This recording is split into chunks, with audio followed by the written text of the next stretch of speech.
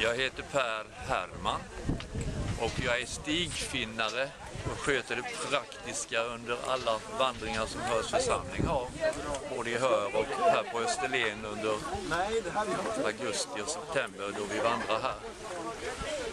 Vi vill gärna vara en av de många under den här Paxvandringen och har då haft en egen vandring från Simrishamn till Skillinge, Skillinge till Backåkra för att manifestera denna fina grej för människovärdet, freden.